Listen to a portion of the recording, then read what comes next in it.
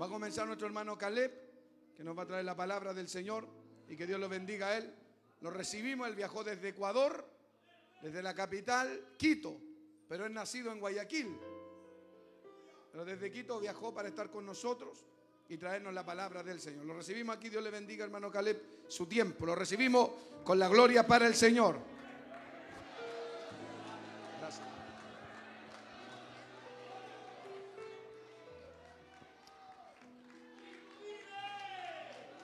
Gloria a Dios. Dele palma, dele palma de alabanza a Jesucristo, amado hermano.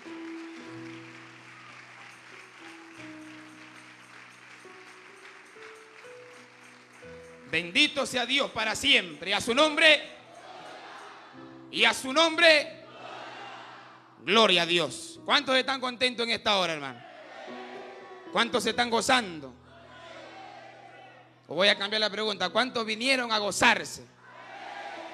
Amén. Gloria al nombre del Señor. Estamos contentos también nosotros de estar aquí compartiendo con ustedes. Yo estoy muy contento de ver cómo, de ver cómo Dios ha bendecido esta obra preciosa, de ver cómo Dios ha bendecido a nuestros pastores y de ver cómo en tres años lo que Dios ha hecho. Que eso es algo sorprendente, es algo lindo de ver y estamos aquí para alegrarnos con ustedes en este aniversario. Que Dios bendiga a todos los pastores presentes, a todos los siervos del Señor. Dios bendiga a nuestro obispo. Dios bendiga a nuestro pastor Hugo, a nuestro pastor David Cruz, que nos visita desde Estados Unidos. Y Dios bendiga a cada uno de ustedes, amados hermanos. Tengo la honra de compartir la palabra en esta hora. Así que vamos a ir a la palabra del Señor. Vamos a hablar, hermano, vamos a tomar una parte de, de la historia del profeta Elías. Bastante se predica acerca de Elías, pero hoy día Dios, también nos quiere hablar de aquí en esta hora, hermanos. Así que le invito a que abra su Biblia en el libro de Primera de Reyes, Primera de Reyes capítulo 19. Primera de Reyes capítulo 19.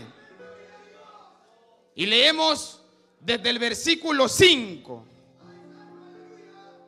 Primera de Reyes capítulo 19 versículo 5. Si usted lo va encontrando, vaya confirmando con un fuerte amén. Y si quiere decirlo, diga gloria a Dios. Y si quiere decir aleluya, diga aleluya. Amén. Tenemos Primera de Reyes, capítulo 19, versículo 5.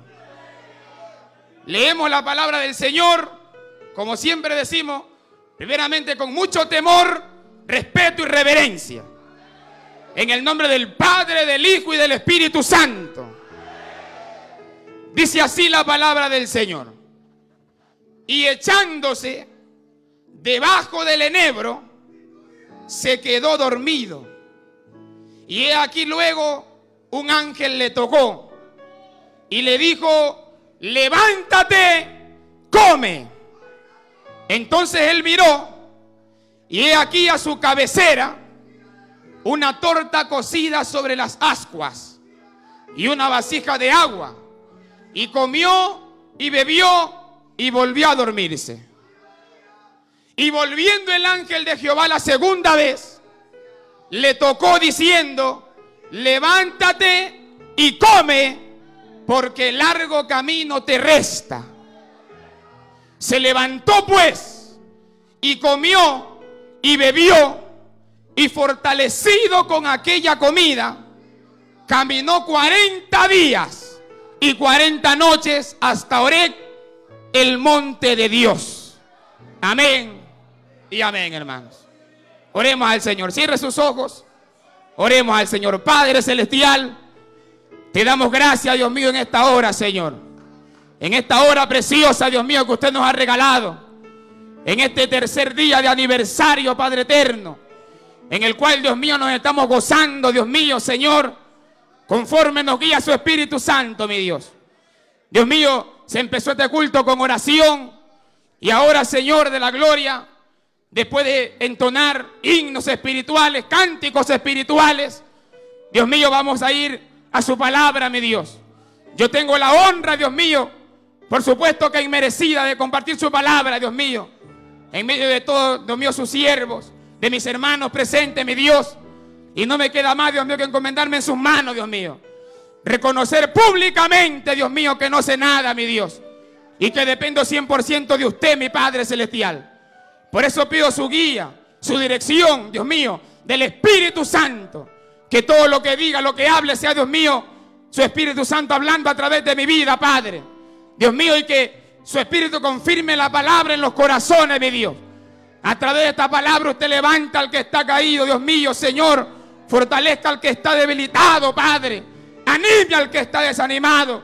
En el nombre de Jesucristo de Nazaret, mi Dios. Y que al final de esta predicación, Dios mío, Señor, todos quedemos bendecidos en el nombre de Jesucristo para su gloria y para su honra, mi Dios. Le damos gracias, Dios mío. Gracias, Padre, Hijo y Espíritu Santo de Dios. Amén, amén y amén. Levante su mano al cielo y demos junto gloria al Señor, hermano. Gloria a Dios. Gloria a Dios, gloria a Dios, gloria a Dios. Gloria a Dios para siempre. Tome su asiento en esta hora.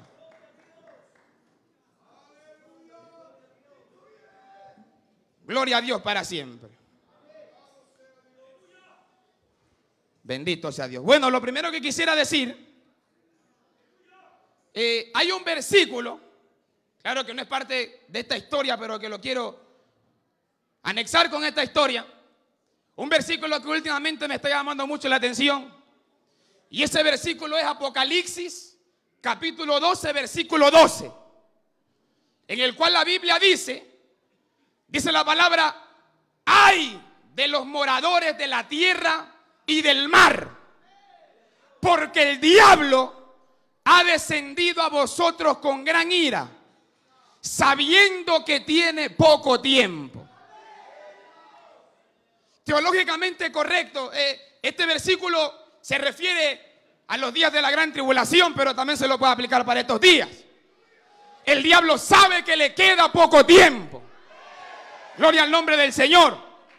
Otras versiones, por ejemplo, la versión palabra de Dios para todos, dice, en este versículo dice, les irá muy mal porque el diablo sabe que le queda poco tiempo y ha bajado furioso a donde están ustedes. La versión traducción al lenguaje actual dice así, ¿qué mal les va a ir a los que viven en la tierra y a los que habitan en el mar? El diablo está muy enojado ha bajado para combatirlos, porque bien sabe el diablo que le queda poco tiempo. Y la versión nueva, traducción viviente, dice así, ustedes, los que viven en la tierra, dice, vendrá el terror, pues el diablo ha descendido a ustedes con gran furia, porque sabe que le queda poco tiempo. Gloria al nombre del Señor. Hermano, el diablo sabe que él no puede frenar los designios de Dios. El diablo sabe que él no puede evitar que la palabra se cumpla. El diablo sabe que él no puede evitar que Cristo venga a buscar a su iglesia, hermano. Está escrito que Cristo vendrá y Cristo vendrá, quiere el diablo no, la trompeta un día va a sonar y Cristo volverá y se llevará a su iglesia santa y redimida. Bendito sea Dios, hermano. El diablo sabe eso. Él sabe que Cristo viene y él sabe que no puede evitar que Cristo venga. Pero hay algo que el diablo sí puede hacer y se lo quiero decir a usted en esta hora. El diablo sí puede evitar que usted y yo nos vayamos con Cristo en ese día. Él no puede evitar que Cristo venga, pero Él sí puede hacer que usted se quede. Él sí puede hacer que yo me quede aquí en la tierra. Hermano, y para eso dice la Biblia que el diablo sabe que le queda poco tiempo. ¿Cuántos saben que queda poco tiempo para la venida de Cristo? Cada día el tiempo es más corto. Y nadie lo sabe mejor que el diablo. El diablo sabe que pronto nos vamos. El diablo sabe que pronto desapareceremos de esta tierra. Bendito sea el nombre del Señor. ¿Y qué es lo que el diablo dice? No puede ser que estos se me vayan. No puede ser que estos se vayan con Cristo. Algo tengo que hacer para que estos no se vayan. Algo tengo que hacer para que estos se queden aquí. Algo tengo que hacer para que estos no se vayan a gozar arriba a la nueva Jerusalén. Algo tengo que hacer, dice el diablo, hermano. ¿Y qué es lo que el diablo está haciendo? Él está intensificando el ataque contra la iglesia. Él está intensificando el ataque contra los cristianos, contra las familias cristianas, contra los matrimonios cristianos, contra los jóvenes cristianos y aún contra los niños que son de Cristo. El diablo cada vez está atacando más y más y más. ¿Por qué? Porque él sabe que le queda poco tiempo. Bendito sea el nombre del Señor. Y mire, aquí en esta historia, ¿cuántos saben que Elías también fue arrebatado al reino de los cielos? Y en este entonces, en, este, en esta parte de la historia que leímos, también faltaba poco tiempo para que Elías sea arrebatado por el Señor. Eran los últimos años de ministerio terrenal del profeta Elías. Yo no sé cuántos años Elías tuvo de ministerio, la Biblia no lo dice. Pero solamente de sequía fueron tres años y medio. Entonces tuvo varios años de profeta, de ministerio de profeta aquí en la tierra. Y estos eran sus últimos años aquí en la tierra. Y el diablo, yo no sé si lo sabía o no, capaz que se las olía. Y el diablo empezó a atacarlo más al profeta Elías. Elías durante toda su vida había sido un problema para el diablo. Elías se había convertido en un verdadero problema para Satanás. Hermano, así tenemos que ser usted y yo. Debemos convertirnos en un problema para el diablo. Usted y yo debemos convertirnos en un dolor de cabeza para Satanás. Hay cristianos que le dan risa a Satanás, hermano. Hay cristianos que en vez de ser como Elías son como Sansón, que lo trajeron, traigan a Sansón para que nos divierta. Así son algunos cristianos, hermano. Pero Elías no, Elías era un dolor de cabeza para el diablo. Cada vez que el diablo veía a Elías, le daba disentería al diablo. Santo es el nombre del Señor, hermano. Y el diablo lo atacaba, lo atacaba, lo atacaba. Pero el diablo nunca pudo contra ese hombre de Dios. Nunca pudo contra ese siervo de Dios. Pero de tanto ataque, de tanto ataque que el diablo lanzó al siervo de Dios, al profeta Elías, llegó un momento que el diablo logró desanimarlo. Llegó un momento que el diablo logró detenerlo. Llegó un momento que ese hombre ungido, ese hombre de Dios, quedó totalmente en la lona, amados hermanos. Y me llama la atención lo que la palabra dice. Dice, y echándose debajo del enebro. Oiga, esa palabra echándose se, usa para los animales, ¿verdad? Se echó la vaca, se echó el chancho, se, se echó la perra. Se usa para los animales. Pero aquí la Biblia usa esa palabra para el siervo de Dios. Cualquiera dice se acostó, pero dice que se echó. ¿Qué significa eso? Eso habla de la condición espiritual en la que el profeta Elías había caído. A todos nos puede pasar, amados hermanos.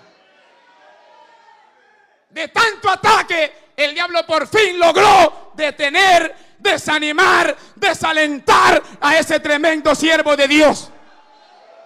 Amados hermanos, y el diablo llevó a Elías en ese momento a una mala condición espiritual.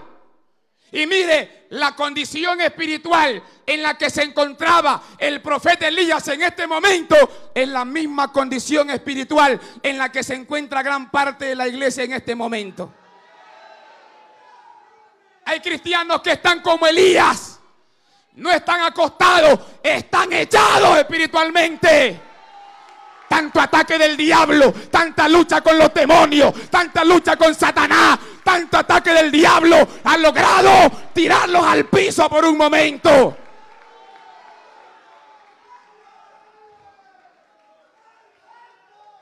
Y Cristo dijo que sería así, hermano. Cristo dijo, por ejemplo, en la parábola de las diez vírgenes, Cristo advirtió que antes de su venida sería así. Y él habló de la condición espiritual en la que estaría la iglesia antes de su venida. Y no iba a estar en fuego, y no iba a estar en avivamiento, como dicen los falsos predicadores.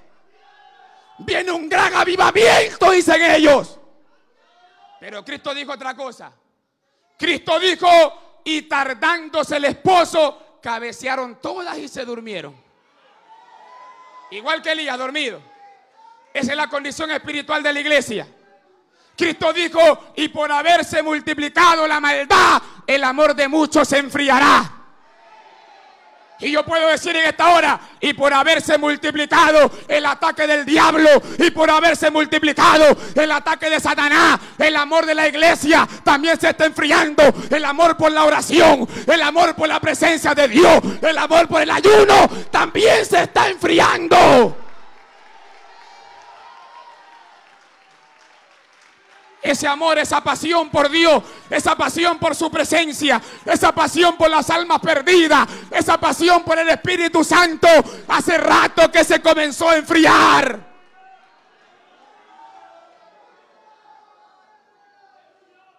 Bendito es el nombre del Señor, hermano. Y usted no crea que el diablo se va a detener, hermano. El diablo va a seguir atacando. Porque él sabe que le queda poco tiempo. Y el propósito del diablo es que usted se quede aquí, que usted no se vaya con Cristo. Ahora entiende por qué usted se siente así seco, frío, muerto. Ahora entiende usted por qué se siente así como Elías, que está echado debajo del enebro. Ay, hermano, lo que pasa es que el diablo me está dando con todo y te va a seguir dando con todo, hermano, porque él sabe que le queda poco tiempo. Y el diablo quiere que el día que Cristo venga no te encuentre danzando, no te encuentre dando lengua. El diablo quiere que Cristo te encuentre tirado en el suelo, que te encuentre llorando, que te encuentre quejándote y aquí te quedes. Ese mira, mira, cómo lo tengo, echado debajo del enebro. ¿Cuántos están echados debajo del enebro aquí, hermano? Seamos sinceros. Bendito es el nombre del Señor. Ahí estaba el siervo de Dios con tantos problemas. Ahí estaba el siervo de Dios cansado de tanto ataque de Satanás. Y el diablo lo, llevó a tal punto que Elías deseó morirse. Basta ya, Jehová. No soy mejor que mis padres, quítame la vida. Oiga, yo he escuchado gente que también le están pidiendo a Dios que le quiten la vida, hermano. Y escuchaba a otro que ellos mismos se están quitando la vida. Bendito es el nombre del Señor. Pero ¿sabe qué pasó? Y aquí quiero entrar al tepe en esta hora, hermano. Dios nunca deja tirado a sus siervos. Dios nunca deja en el piso a sus hijos. Si el diablo te está atacando y el diablo te ha dado tan duro que logró tirarte al suelo, déjame decirte que esta hora que el Dios nunca te va a dejar en el suelo. Dios nunca te va a dejar tirado. Dios nunca te va a dejar echado debajo del enebro.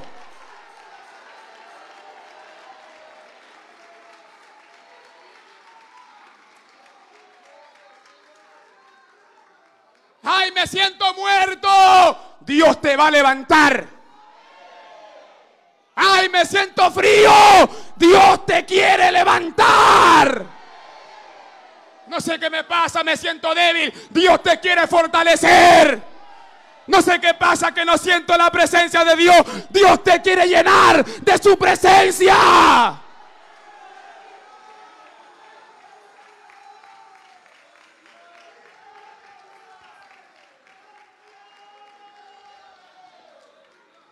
La Biblia dice en el Salmo capítulo 37, versículo 24, dice la palabra, cuando el hombre cayere, no quedará postrado porque Jehová sostiene su mano. Otro versículo dice, porque siete veces cae el justo y vuelve a levantarse. Hay, tropezones, hay caídas en el Evangelio. Siete veces cae el justo, pero siete veces hay que levantarse. Si caí, me levanto. Si caí otra vez, otra vez me levanto. Porque Dios, Dios sostiene, Dios sostiene la mano del justo.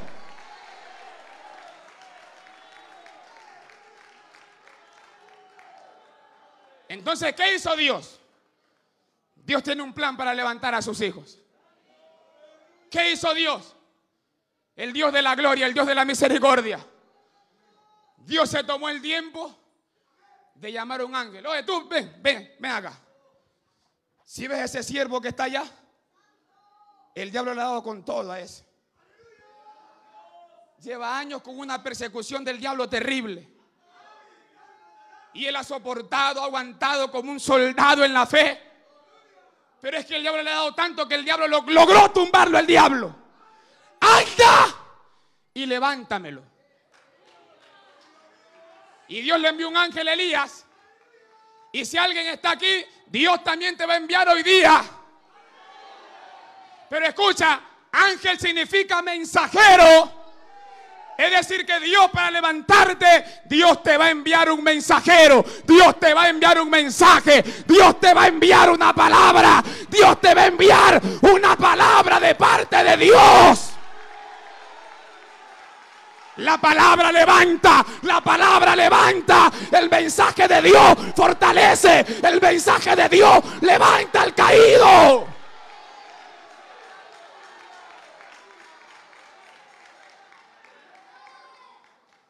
Y el ángel llegó y lo encontró Elías como están muchos en esta hora. Dormido, echado. Echado, oiga. Esa palabra como que golpea fuerte. Echado como un animal. Derrotado. Hecho pedazo. Afligido. Debajo del enebro.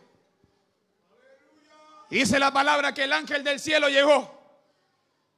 Y el ángel se tomó el tiempo de prepararle comida al profeta Elías. Por eso hay un versículo que dice, pan de ángeles les dio a comer. Habla del maná y también habla de este pasaje de Elías.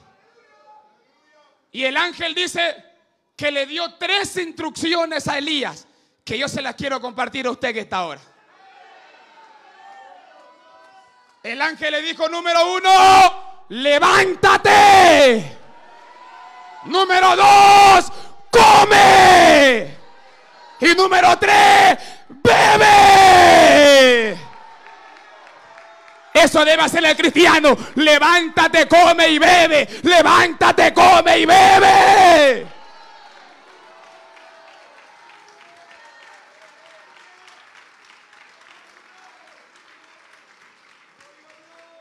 Elías estaba dormido y el ángel vino por el costado. Elías, levántate. ¿Qué es lo primero que debe hacer un cristiano? Tiene que levantarse, hermano.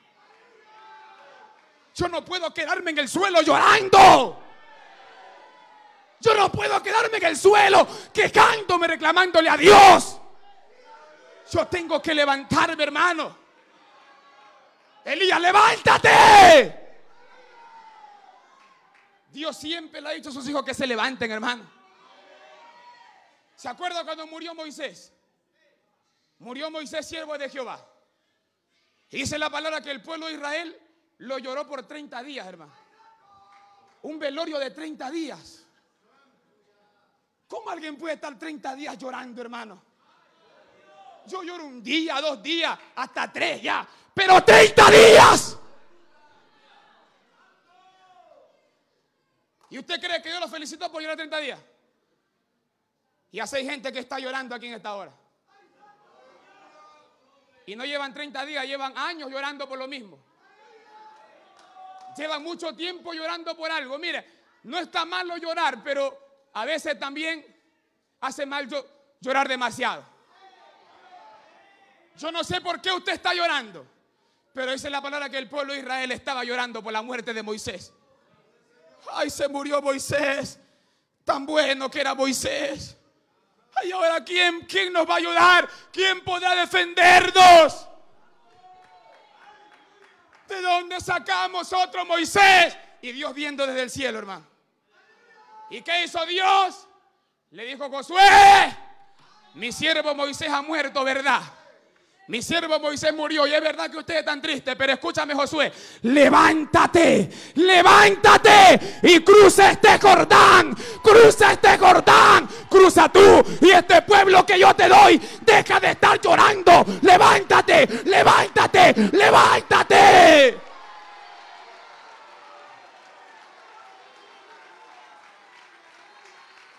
Si tú estás caído, si tú estás debilitado, si tú estás llorando, escucha esta hora, levántate, levántate, ya deja de estar llorando, sécate las lágrimas como Josué y levántate y cruza el Jordán. Bendito sea el nombre del Señor, hermano.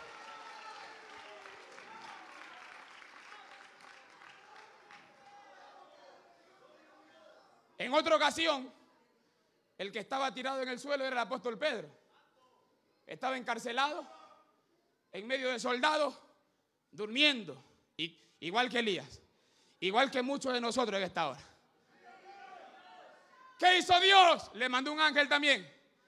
Dice la palabra que el ángel lo tocó por el costado. Yo decía, ¿cómo lo tocó por el costado? Me imagino que le metió uno ahí. Así Dios tiene que hacerle mucho aquí en esta hora. Ya, pues levántate.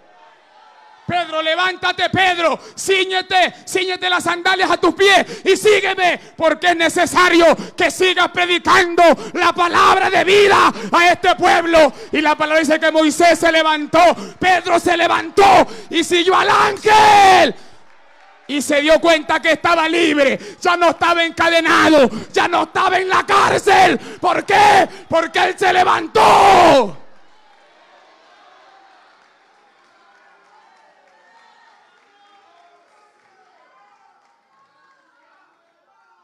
Oiga, hermano, es, que hay gente que está tirada en el suelo, hermano. Hay gente que se ha dejado golpear por Satanás y no se levantan, hermano. Y están ahí y no quieren levantarse. Así estaba la iglesia de Éfeso, parece. Y el apóstol Pablo les manda una carta y les dice, oigan muchachos, despiértate tú que duermes. Despiértate tú que duermes. Y levántate de los muertos, levántate del suelo, levántate de esa condición y te alumbrará Cristo y te alumbrará la gloria de Dios.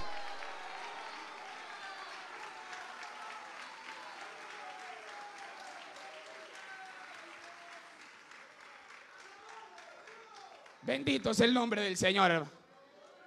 Y Elías se levantó. Elías no fue necio como muchos de nosotros. Elías se levantó en esa hora, hermano. Y después, ¿qué hizo Elías? El ángel le dijo, come. Ya te levantaste, que es el primer paso. Ahora come. Dios siempre va a decirte que comas. Hay cristianos que están débiles porque no comen. Hay gente que no tiene fuerza para pelear contra el diablo porque no comen. Flacuchento espiritual, ¿hace cuánto tiempo que no comes, hermano? ¿Hace cuánto tiempo que no te alimentas de Dios?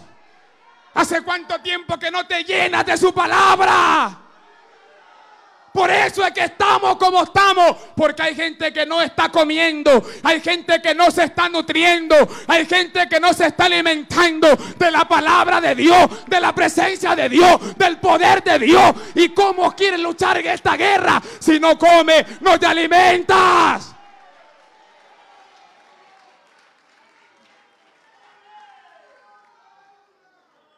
Bendito es el nombre del Señor. Comer significa alimentarse cada día de la palabra de Dios. Alimentarse cada día del pan del cielo, del pan del cielo. Dice la palabra que Dios le dijo a Ezequiel, mas tú hijo de hombre, oye lo que yo te hablo y no seas rebelde como la casa rebelde. Abre tu boca y come lo que yo te doy. Y usted que está ahora, abra su boca y coma lo que Dios le está dando. Come del pan de vida que Dios te da.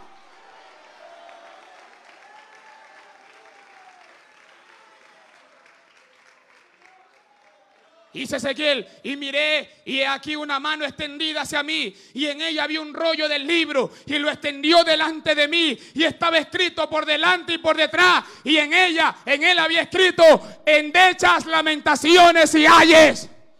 Y me dijo, hijo de hombre, come lo que haya, come este rollo y ve y habla a la casa de Israel. Y abrí mi boca y me hizo comer aquel rollo y me dijo, hijo de hombre, alimenta tu vientre y llena tus entrañas de este rollo que yo te doy. Y lo comí y fue en mi boca dulce como la miel.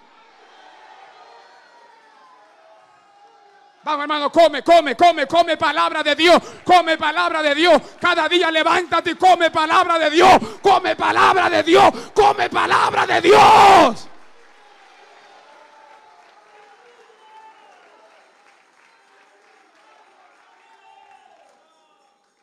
Dios dice que hay gente rebelde que no quiere comer. Hay gente rebelde que no quiere alimentarse. Hay gente rebelde que desprecia el pan que Dios le da. Y por eso es que estamos como estamos muchas veces, hermano. Porque hay gente que no quiere comer del pan de vida. Pero como Dios le dijo a Ezequiel, tú no seas rebelde. Si nadie más quiere comer esta palabra, tú cómetela, por favor. Cómete esta palabra, cómete este rollo, come lo que Dios te da. Gloria al nombre del Señor. Cristo dijo, yo soy el pan de vida el que a mí viene nunca más tendrá hambre. Yo soy el pan de vida. Vuestros padres comieron el maná en el desierto y murieron. Pero el que come de este pan que desciende del cielo no morirá jamás ay estoy muerto. Escucha, el que come este pan no morirá jamás. ¿Por qué estamos muertos? ¿Por qué estamos muertos? Porque no estamos comiendo del pan de vida que vino del cielo.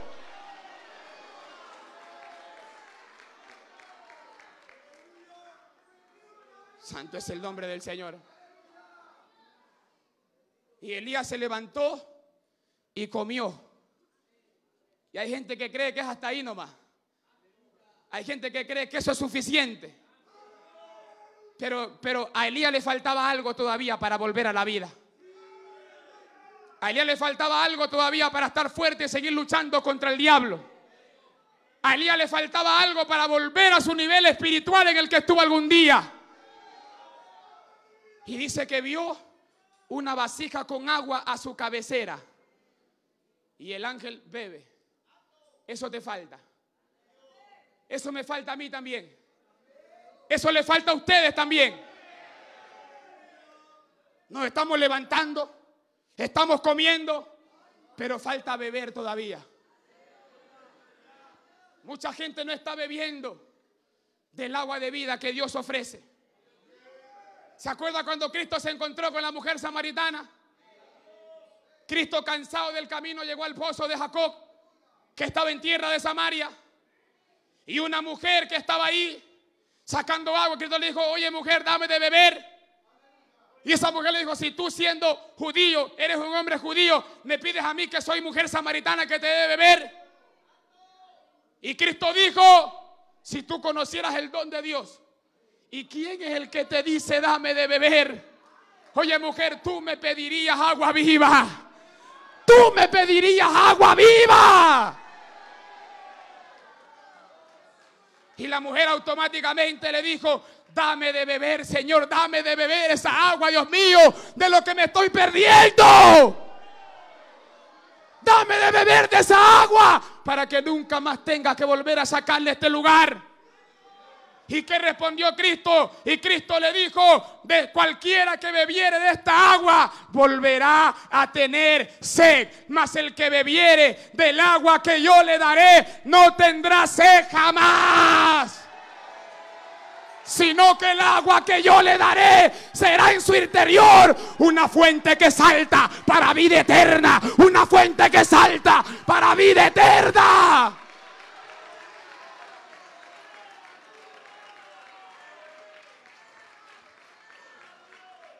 Porque hay gente que está estática en la iglesia. Porque hay gente que no puede avanzar, que no hace nada, que está ahí, que que no se une a la visión de la obra, que no se mete en la obra. ¿Por qué? Porque no tienen esa fuente que salta en su interior. Porque dice que esta fuente salta para vida eterna. Es decir, el que bebe del agua que Dios da nunca más va a estar quieto.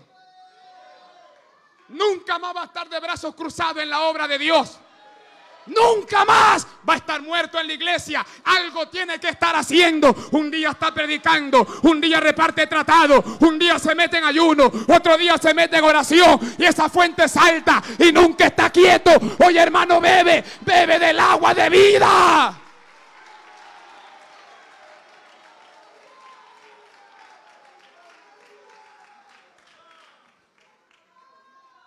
Bendito es el nombre del Señor.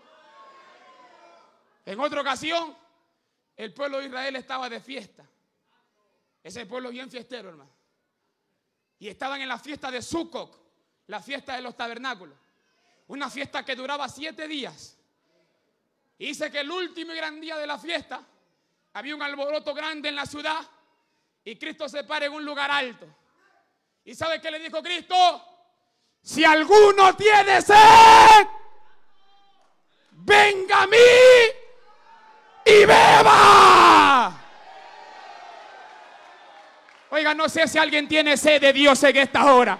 Yo no sé si alguien necesita de Dios en esta hora. Yo no sé si alguien necesita su presencia en esta hora. Pero esa invitación sigue vigente. Esa invitación sigue vigente. Dios sigue diciendo, si alguno tiene sed, venga a mí y beba. Venga a mí y beba.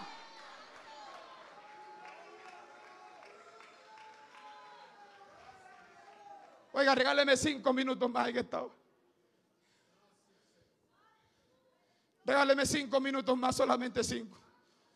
Bendito es el nombre del Señor. Y dice la palabra, dice la palabra que el profeta Elías se levantó, comió y bebió del agua que el ángel le dio. Y automáticamente su vida cambió. Y automáticamente el momento que él estaba pasando cambió. Oye, si tú quieres salir de esa condición espiritual, tienes que seguir estas instrucciones.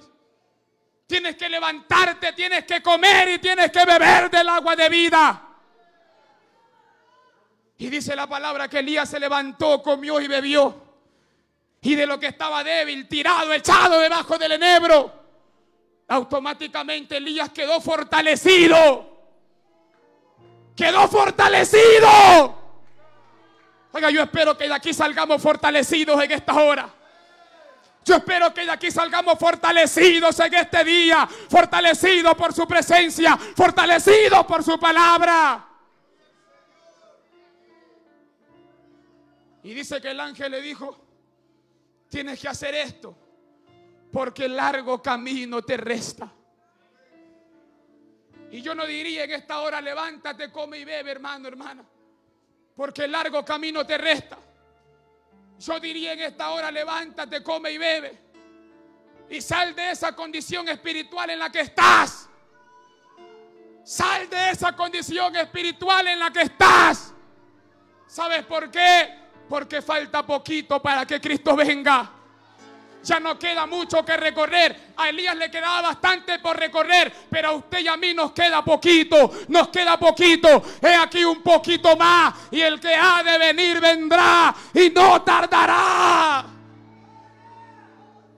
Gloria a Dios para siempre. Bendito sea su santo nombre. Y la historia continúa y dice, Elías se levantó y se fue camino 40 días a Oreg, el monte de Dios. Y después de un tiempo Elías ungió a Asael como rey de Siria, a Jehú como rey de Israel y a Eliseo como profeta en su lugar. Y después de eso, ¿sabes qué pasó con Elías? Elías fue arrebatado al tercer cielo, aleluya. El Señor se lo llevó a Elías en carros de fuego. El diablo quiso detenerlo, pero no pudo con el siervo de Dios. Dios levantó a su siervo y después de un tiempo se lo llevó a su presencia. Así Dios quiere hacer con nosotros. Así Dios quiere hacer con cada uno de nosotros. Así que si alguien está en el suelo, si alguien se siente mal, si alguien siente que no puede más, Dios quiere levantarte en esta hora. Pero tú tienes que levantarte, comer y beber. Tienes que decirle al Señor que avive tu vida, que avive su obra. Bendito sea el nombre del Señor. Vamos a orar en esta hora. Vamos a orar en esta hora. El altar está lleno, pero por el pasillo hay espacio. Vamos, postrémonos delante del Señor. Postrémonos delante de su presencia. Postrémonos delante de su gloria. Yo no sé cuántos están en la condición de Elías. Cuántos se sienten debajo del enebro. Cuántos se sienten debilitados, secos, estancados. Cuántos se sienten que el diablo los ha detenido. ¿Cuántos sienten que con demasiada lucha, persecución de Satanás, el diablo ha logrado detenerlos? El diablo ha logrado que dejen de hacer lo que estaban haciendo para Dios. Pero en esta hora Dios te dice, levántate, come y bebe. Cada día de tu vida, levántate, come y bebe. Bendito sea su nombre. Come de la palabra y bebe del Espíritu come de su palabra y bebe del Espíritu Santo y bebe de esa fuente de vida. El libro de Apocalipsis dice que hay un río que fluye del trono de Dios. Y todo aquel que quiera puede beber de ese río. Bendito sea tu nombre, Señor. Dile a Dios, dame de beber en esta hora, Señor. Dame de beber de tu río. Dame de beber, Padre eterno. Me siento seco, me siento muerto. Me siento como Elías. Así me siento yo, Señor. Pero he venido este aniversario. He venido este culto. Y no quiero salir igual. No quiero salir igual, Dios mío. Así como Elías se levantó fortalecido por esa comida. Así levántate tú en esta hora. Fortalecido por la comida que Dios te ha dado. Gloria al nombre del Señor. Fortalécenos, Padre. Fortalece al que está débil, Dios mío. Fortalece al que está debilitado, Padre. Levanta a tus hijos, Señor. Levántanos, Dios mío, Padre Celestial. La trompeta está pronto. Está próxima a sonar, mi Dios. Y queremos que nos levantes, Padre. En el nombre de Jesucristo.